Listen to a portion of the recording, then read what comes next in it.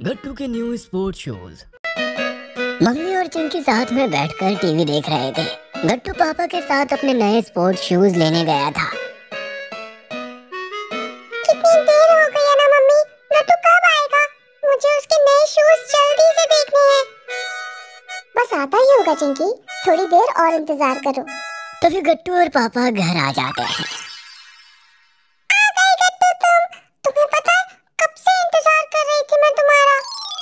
Chinki mummy सब लोग नए स्पोर्ट्स शूज़ देखो।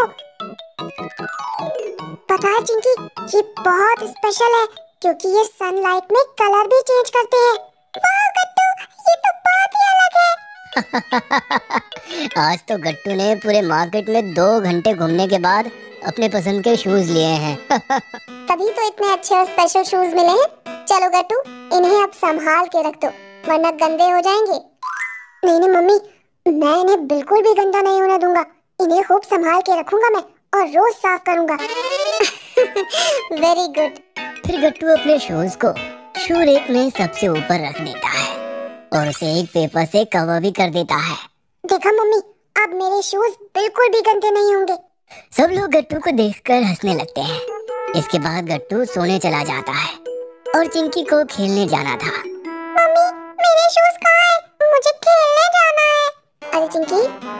तुम्हारे शूज़ तो मैंने आज ही वॉश कर दिए। एक काम करो तुम गट्टू के शूज़ पहन के चली जाओ। ओके मम्मी लेकिन गट्टू कुछ कहेगा तो नहीं ना? अरे नहीं चिंकी तुम दोनों भाई बहन हो। तुम्हें आपस में अपनी चीज़ें शेयर करनी चाहिए। जाओ तुम। फिर चिंकी खेलने चली जाती है। और थोड़ी देर में गट्टू सोकर उठ जाता है। वो उठते ही अपने शूज़ ढूँढने लगता है। मम्मी मम्मी अब मेरे शूज़ कहाँ गए? मुझे अपने सभी फ्रेंड्स को दिखाने हैं। ओह वो तो चिंकी पहन के चली गई है। बस अभी आती ही होगी गट्टू। लेकिन क्यों मम्मी? ऐसे नहीं कहते गट्टू। तुम्हें अपनी बहन के साथ चीज़ें शेयर करनी चाहिए ना? तभी चिंकी वापस आ जाती है। लाओ चिंकी मेरे शूज़ दो। मुझे जाके अपने फ्रेंड्स को दिखाने हैं। हाँ ये लो गट्टू। अरे नहीं ये क्या? क्या हुआ गट्टू? शूज़ गंदे हो गए हैं क्या? गंदे नहीं मम्मी। फट गए हैं। देखिए चिंकी ने मेरे शूज़ खराब कर दिए। इसमें तो एक होल हो गया है। अरे नहीं ये कैसे हुआ चिंकी? आ, वो मम्मी शायद खेलते वक्त गलती से लग गया होगा। Sorry Gattu.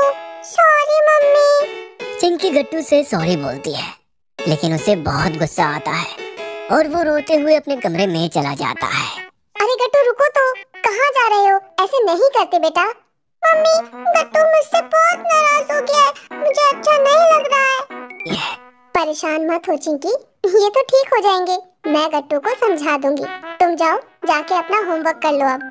चिंकी उदास होके चली जाती है और अपना होमवर्क करने लगती है। थोड़ी देर में पापा घर आते हैं और चिंकी उन्हें सब बताती है।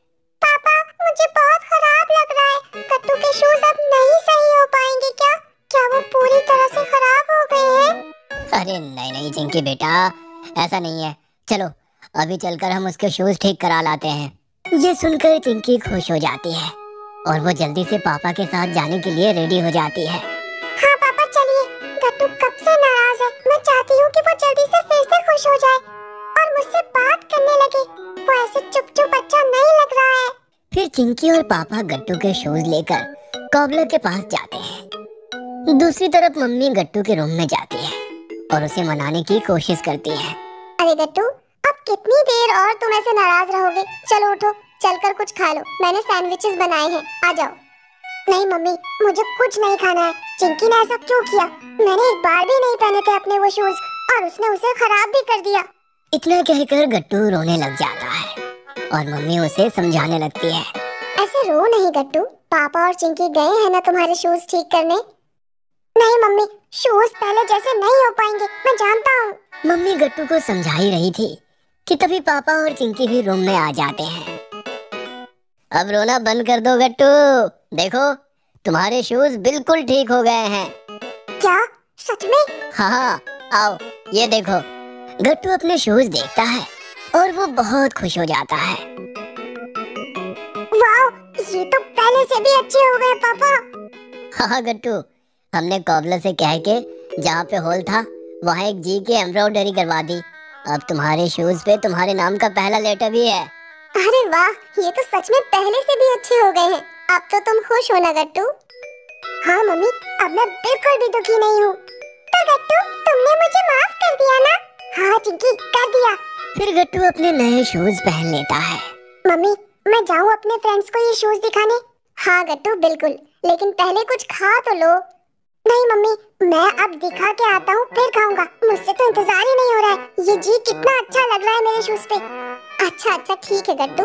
जल्दी आना।